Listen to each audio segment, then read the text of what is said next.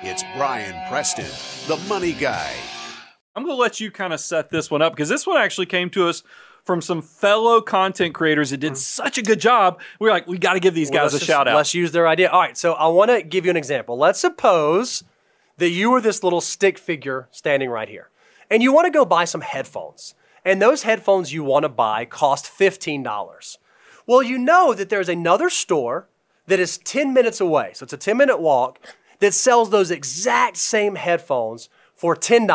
wow, that's So a pretty good either, discount. You could either stay where you are and pay 15 or you could walk a measly 10 minutes and pay 10. You would save $5. wow, that's a pretty good deal. So I'd, I'd probably walk that. I 10 would minutes. walk that, right? If I could pay 15, pay 10, I would walk that. All right, so let's assume now instead of buying headphones, you are going to buy a laptop. And as you stand where you are right now, the laptop costs $675. Or you could walk 10 minutes down the road to the other store and the laptop costs $670. Man, this is like one of those when they show you a dress and you're trying to guess the color. Mm-hmm. This the, you just changed the the way this entire illustration looks to me. Even though it's the exact same five dollars, it did something completely different in my brain. That's exactly right. And so, uh, again, this is thanks to our friends over at Two Cents. This is what they said.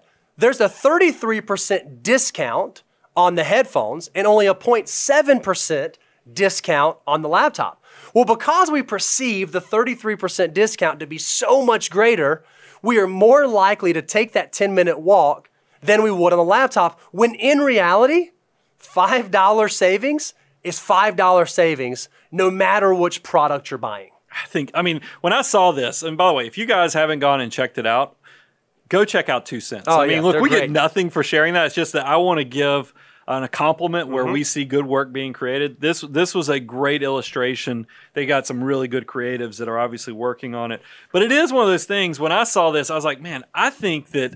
Even I, who consider myself a good contrarian, a good person that can spot, I have good emotional intelligence. I fall prey to this sometimes. And this is I'm going to, I'm even going to flip the script to a financial concept where I see this happening even more is this same because this is talking about the power of the discount. Seeing that you could save 33% Mm-hmm. is just so powerful to you versus when it's only a 0.7% discount. I think that this also can play out to when you're buying stuff as well. Absolutely, yep. So when you think about this in terms of new car purchases, Mm-hmm. you're like, okay, I could buy the basic. You know, if you're buying a brand new car, you're like, yeah, I could get into that car for eighteen thousand dollars. But you know what? I can get the one that has leather for twenty one thousand. Even though three grand is a ton of money, you'll think about, man, but I could, I, you know, over ten, you know, five years, Yep. seven years, I, you know, I ought to do that because not only do I get the leather, I get the moonroof. Uh, That's you know, exactly so you start because as a percentage of the total purchase, it doesn't feel as big. It's the same thing when you buy a house. Bo, you just built a house. Absolutely.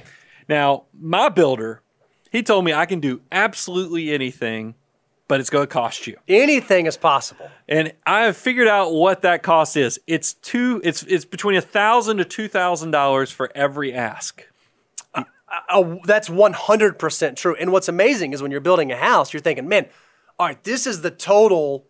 Okay, well, I'll just, okay, it's a thousand bucks. Oh, what's a mortgage? It's 30. Okay, here's 2,000 bucks. Okay, here's a thousand bucks.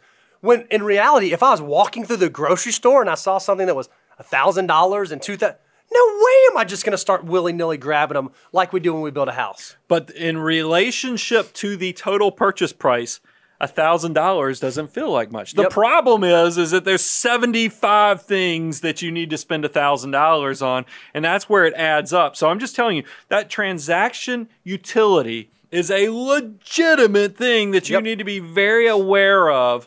Is because yes, it makes you feel better. The bigger percentage, the better deal you're getting. But it also minimizes the flip side of this. The converse side of this is the bigger the transaction, the more you're willing to move things up because it's playing psychological or behavioral economics games with what's going on in your brain. That's exactly right. And this is kind of the financial concept you should take away is that every single dollar is powerful. We've already said earlier in the show, uh, money is fungible. A dollar here is worth a dollar there.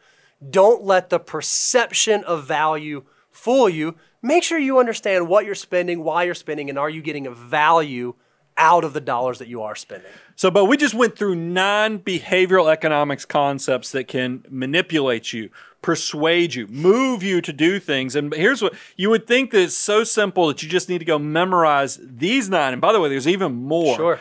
But that's not the case. A lot of times, guys, I want to go ahead and tell you these things get stacked on top of each other. So you might have somebody who not only offers you a free dinner, but then they might try to manipul- manipulate mm-hmm. you with other ways too. So these things could be stacked to persuade you, yep. even make this even more powerful. But don't let this stuff educate yourself, equip yourself so you know what your why is, what your financial order of operation. What uh, you need to have all these tools so that you will be equipped to make sure you're doing the best possible way of getting yourself to financial independence and building wealth. And our charge is we're going to be that resource for you to help you keep your ship true. If you've not gone out to our website, go to moneyguy.com. Make sure we have your email address. We have deliverables out on the website that you can take, you can use. You can send them to friends, you can share them with colleagues, you can share, share them with family members. We want you to have access to them so that you can take your finances to the next level. And we're going to be the resource that stays here to help you be aware of these things that you need to be aware of. So we've talked about the abundance cycle. We work with clients in 42 states. If you feel like your, you know, finances have gotten to the level that you do need a co-pilot, you've graduated, you know, we're Johnny Appleseed planting the seeds. Mm-hmm. You learn, apply, and grow. Now you're at the level of success that you do want to take it to the next level reach out to us. You can go to Abound Wealth, you yep. can go to Money Guy, and don't forget we're so close, so close. We're going to reach 100,000 by year end. That's the goal, but I can't do it without you. So please go sign up on YouTube, subscribe, ring the bell for good service, and let us know you're part of the Money Guy family. Guys, we'll be back soon. I'm your host, Brian Preston, Mr. Bo Hanson, Money Guy team, out.